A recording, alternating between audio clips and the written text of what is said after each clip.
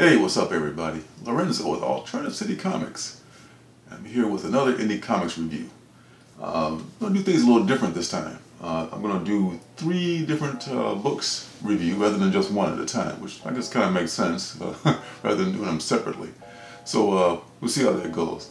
Uh, the first book I'm going to do is um, A Picture of Everything Else which is written by Dan Watters and illustrated by uh, Kishore Mohan, I think the name of the person is. Hope didn't mess it up too badly. Uh, so this is published by Vault Comics, another great comic from, from Vault. And this takes place in, in Paris in 1897. Uh, and its focus is on uh, two struggling artists, uh, one named uh, Marcel and one Alphonse. Marcel is um, is kind of a is not too bad of a guy, but uh, Alphonse is kind of a dick. Uh, and, and, it starts when there's like a party. Uh, this, this this high society woman is throwing this party, and she's talking to these two um, affluent uh, twin brothers. And of course, um, uh, Marcel comes in, and they see him, and they say, "Oh well, your your buddy uh, Alphonse can't be far behind." Because they they dread Alphonse because he's he's a bit of a scoundrel. so they they crash the party. Uh, they're, such polite society that they don't have them thrown out right away, you know. And uh, I guess I don't know. Maybe she had a, a, bit of mercy on those guys, but usually, you know, party crashes, you know, they get bounced like right away. But uh, for some reason, they don't. So they start up a conversation, or Marcel and Alphonse start up a conversation with the two twin brothers, and they're talking about the arts, uh, how photography is going to influence um, portraiture and such things of, of the idle rich conversation that it might have. Uh, and they talk about also the, uh, the recent murders by what they, they've called the Paris Ripper and the brutal uh, types of slayings that have been taking place uh, attributed to this, this Paris Ripper. Um, and while that's going on, Alphonse is meanwhile like ripping a woman off. She's he's like stealing her artifacts and stuff. Uh, Marcel sees this, drags him out. Uh, they end up having to make a, a miraculous escape out the uh, the window, grab a bottle of woman's champagne, and just uh, just laugh about it on the way home as they walk down the street and drink and just uh, and and uh, just commit ar- not armed robbery, but just like you know robbery right in, broad uh, broad daylight. So after this. Um, Alphonse is just, he's, like I said, he's kind of a dick. And he's, he's teasing Marcel about his homosexuality. And Marcel gets pissed off and he goes home to paint. They both share a, a flat. They're, they're roommates, unfortunately for, for Marcel. So he goes home to paint. Uh, in the meantime, um, Alphonse is still out carousing and drinking and thinking of shit to do.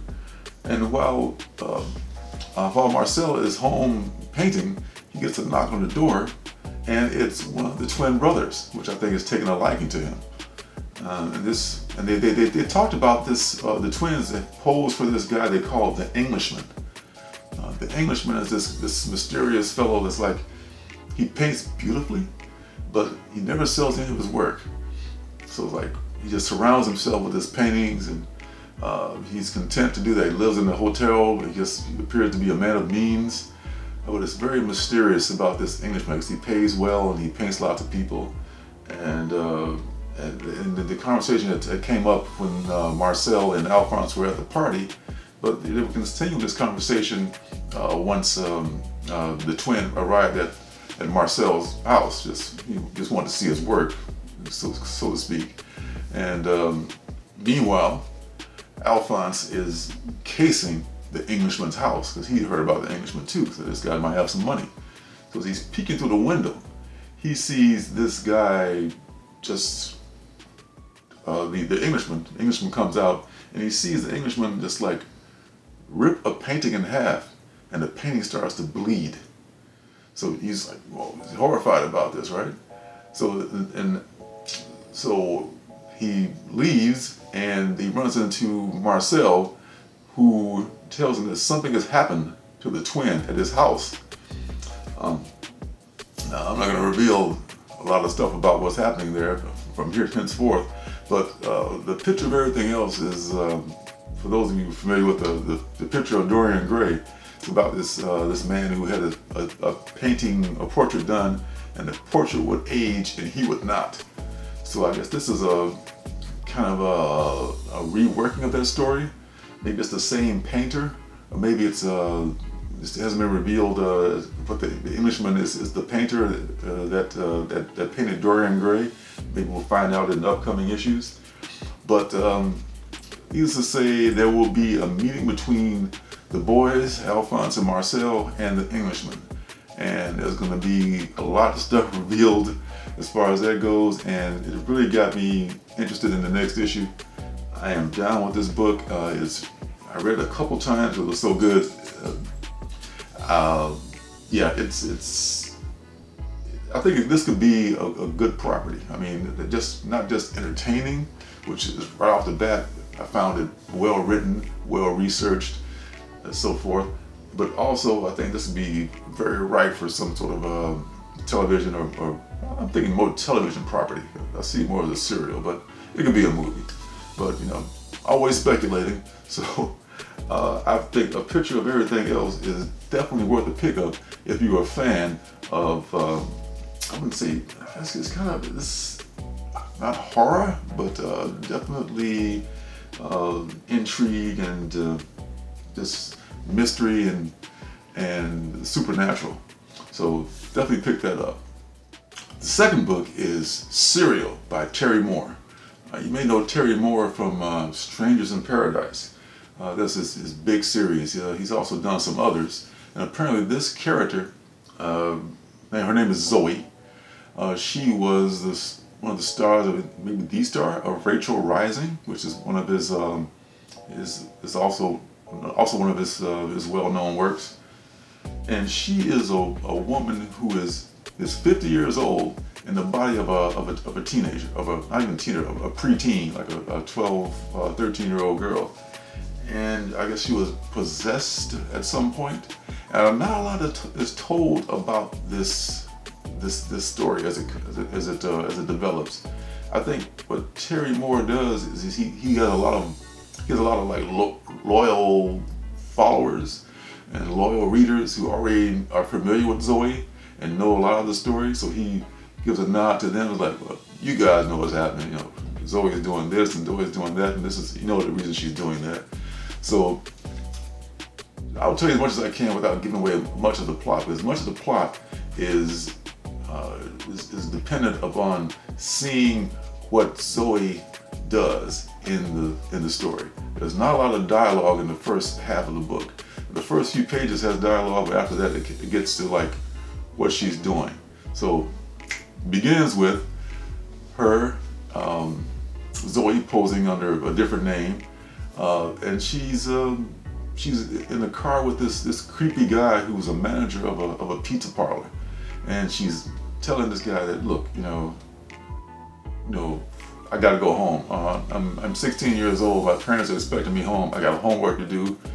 You know, he's just being like you know the the, the lecherous pedophile uh, stereotype that you know that that everyone you know is seen and he's coming on to her and he's he's inappropriately touching her, and she jumps out of the car. Uh, what happens after she jumps out of the car? I don't want to, I don't want to reveal too much about that because that's a pretty intense and cool sequence. But it's a very cool sequence. I just have to, I just don't want to give it away because it's, um, it's, it's kind of an important part of the story. Later on in the story, we pick up which looks like, kind of looks like Zoe, or maybe it's not Zoe, or some uh, maybe that maybe the the girl um, in this part is Zoe, and uh, the other girl who was in the car with the creep was not Zoe. I don't know. I gotta figure this stuff out. But this girl is in a sleeping in a, like a in a van, and she's she's dreaming. She's dreaming about just like uh, all this crazy stuff where she's like just going on a killing spree. She just like taking her like her toy, her, her plush toy, and using it as a as a sword and just chopping people in half and stuff. So she's like having a you know a nice little dream, like giggling to herself in her sleep. And then she gets a phone call from this woman who um, says something's happened to her husband. And and, I, and the, the girl just like, okay, well, just be cool. I'll be there in 20 minutes. Now, this may not sound like much, but a lot of stuff that I'm leaving out, you guys are going to want to see. So if you're a fan of Terry Moore, you, you, probably know what I'm talking about already. If you're not a fan of Terry Moore, I think this is worth um, a look-see because I, I want to know what's happening. I mean, it kind of reminds me a little bit of Stray Bullets. Uh, it's kind of that same mode, uh, but a little bit less violent, maybe, but more cerebral than, than Stray Bullet. But but it's black and white, and it kind of gives that that same vibe. So even though I don't really know the names of the characters, because there's no like uh, backstory given, or there's no thought balloons or, a narrative given in the story. Uh, he leaves a lot to the imagination, or he just, like I said, takes for granted that you're familiar with the characters and you know what's going on. But uh, Serial is one of the hot books from, from last week. I would definitely recommend finding that. You can find it and uh, picking it up because um, if you read Rachel Rising, you, you already know what I mean, but uh, if you didn't, check out Serial anyway. Now the next book, the final book, is Wolverine, Black, White, and Red. Now, Wolverine, Black, White, and Red is not an indie book by any means, but I just had to give it some love because I was pleasantly surprised. Uh, I just got it because, okay, it's Wolverine. I like Wolverine, you know, most of the time. Uh, he's one of my favorite X-Men. I'm not a big X-Men fan, but I, I do like I do like Logan a lot. And this is this is like their answer to Batman Black and White. With Batman Black and White, I think, if I recall correctly, the series I read, the original Batman Black and White, was more the other artists and writers' interpretation of Batman than it is uh, tales, untold tales from, from Batman's legacy. As long as Batman's been around, they could definitely use some untold tales. I'm sure there's, there could be um, um, literally thousands out there. Uh, but this is untold tales from Wolverine's history. Uh, and they get some of the best writers and the best artists, uh, just a, an all-star cast of, of, writers and artists to do um, three Wolverine stories per issue. Now, I've, I read the first two issues already. Um, one is, uh, I'm, the pictures here from uh, the first issue where he's like back in his Weapon X days, and that's pretty intense. Uh, there's uh, a, they're all so well written and drawn too, in, in different styles. Uh, there's uh, Wolverine with there's a Sabretooth appearance, maybe in the second issue, but there's so many so many good stories that are just, uh, to me it's good because it's just like bite-sized nuggets of Wolverine. And that's the way I like Wolverine. You know, I don't, you know, uh, the way Hickman writes it, you know, some people like that, but it's not really for me, not my favorite. In fact, I've even dropped uh, Wolverine, uh, the regular um, series, but I'm picking this limited series up. I think it's four issue, five issue series. I'm all about that because this is just Wolverine eviscerating motherfuckers. Just like, ah, you know, it's Wolverine just being Wolverine, but not just, you know, in the Wolverine smash kind of a way, but there's also good stories along with it. So you get involved in the story and you get to see him just like be the killing machine that, that he's known to be. So if you're not picking up Wolverine Black, White, and Red, you might want to. Um, because these stories might be in canon. I'm not sure. I mean, they could be. I mean, this he's he's been around uh, uh, in real time as long as anybody. He's over 100 years old.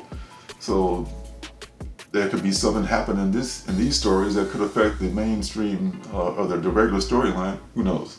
But anyway, it's just worth a, a pickup just because it's good and it's fun to read. Well, look what time look what time it's getting to be. Uh, I've done three three books. Uh, that's all for this Indie Comics review. Uh, don't forget to hit the like button, hit the subscribe button, and hit the notifications button so you'll know when I make my next video. I'm to do one of these every week now. Uh, probably combine um, several books because this, this makes more sense to me. Rather than editing two videos, I can just do one. Um, and um, yeah, and then I'll be uh, making another one next week along with a haul video and probably a drawing video coming up pretty soon. So thanks for watching and I'll see you in my next video. Hey, don't forget to subscribe and leave a thumbs up.